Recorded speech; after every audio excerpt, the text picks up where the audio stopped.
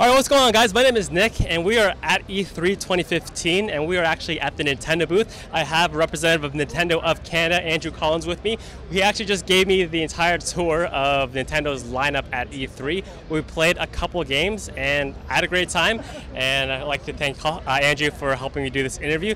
Uh, first off, let's talk about what's your E3 experience been so far like? I mean, it's, it's pretty short. We've only been open 90 minutes, but you know, I'm loving it so far. It's uh, one gigantic, sweaty rushing mess right now. Yeah.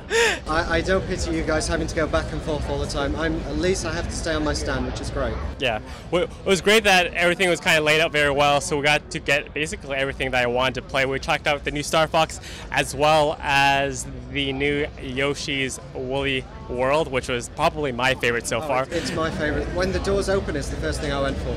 Yeah. I just can't get enough of it. So when is that game coming out first off? October 16th, later this year. Yeah. What I really liked about it is I'm not a huge amiibo guy myself, but I have to get my hands on the Yoshi Woolly amiibo. That's they are crazy. Every, the moment we saw those in the office, it was like it was like everyone wanted them. You know, you've got you've got guys who are all claiming, yeah, it's for my son.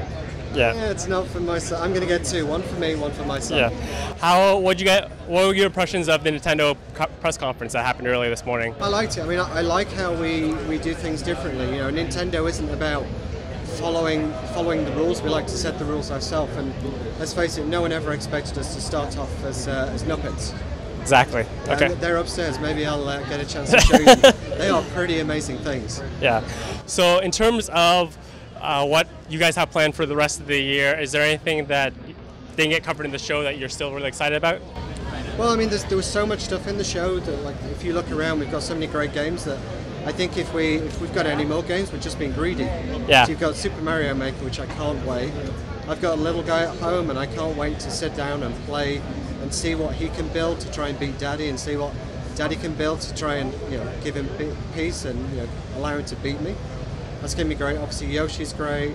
Looking over there, we've got you know, tennis. There's some fantastic stuff. I think the thing that I really like is everything we're bringing out, I can sit and play with my kids. And exactly. it's all about you know, Nintendo for us this year. It's kids and family. It's sitting down. It's sharing the couch with everyone and playing games that you all want to play.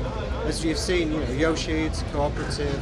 Star Fox, you can play cooperative. It's all about sitting down with family and friends. Yeah, we actually, I run an actually dedicated family channel. So I have my main channel, which is I kind of do like the mature rated games, and then I have a family centric channel, which is called Tetra Ninja Family. And I think like a lot of the stuff the Nintendo showed today is very geared towards that family channel. I can't wait to play a lot of the games that you guys coming out this oh, yeah. year. And like I say, as a, as a dad, it's great to be able to share the games that I play with him. So I, am really looking forward to it because you've, you know, you've got Super Mario, you've got Yoshi, and then you've got all the Game Boy. Like we were playing uh, the Metroid game earlier. Was a you know great fun game. It's it's different. You know, Nintendo this year we're we're taking existing franchises and brands and seeing what we can do with them.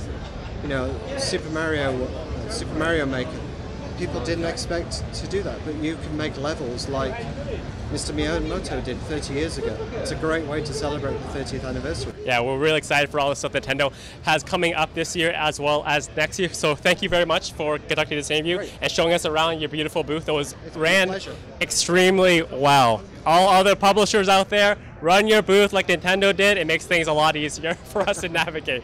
So thank you very much again. Right, I'm pleased to hear that. Thanks a lot. yeah. Thanks. Have a good day, everyone.